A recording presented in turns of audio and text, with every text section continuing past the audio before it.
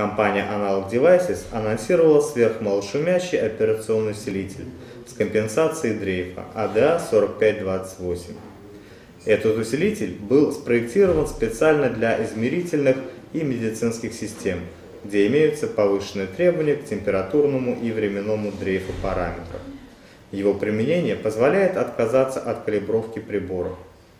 Революционная топология дала возможность получить рекордно низкий шум на 26% ниже, чем у аналогичных изделий конкурентов, а также снизить потребляемую мощность до 40%. Все это позволяет использовать ADA4528 совместно с 24-битными аналого-цифровыми преобразователями со скоростью преобразования до 150 кГц без потери точности преобразования. Усилитель найдет широкое применение в промышленной, медицинской и контрольно-измерительной аппаратуре, электронных весах и других изделиях, совместно с сенсорами и мостовыми датчиками.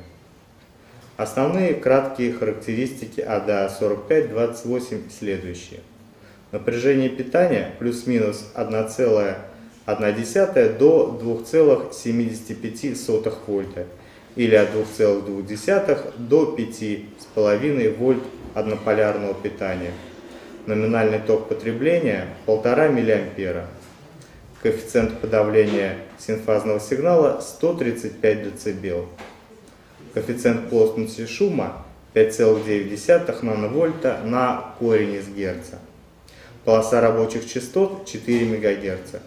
Диапазон рабочих температур от минус 40 до плюс 125 градусов Цельсия. Микросхема выпускается в корпусе МСОП-8.